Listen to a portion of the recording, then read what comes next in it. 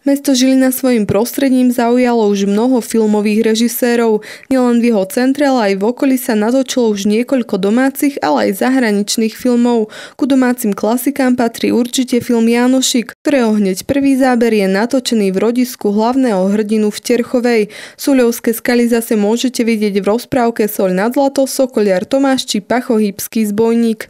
A toto isté prostredie využil Jakubisko aj pri natáčaní niektorých záberov z Perinbaby. Jakubiskovi sa okolie Žiliny natoľko zapáčilo, že tu natočil aj scény k filmu Postav dom, zasať strom a pár miest v Zázrivej využil aj vo filme Tisícročná včela.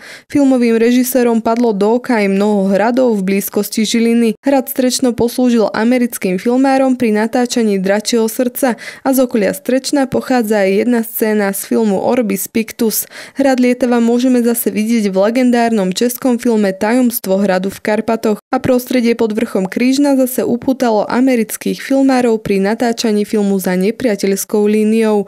Na svoje náklady si dokonca opravili aj prijazdové cesty kvôli doprave techniky na natáčanie. Najviac centra Žiliny sa však nachádza vo filmoch ako Zmluva s diablom, Sen mama či Keby som mal dievča, ktoré ovládli 60.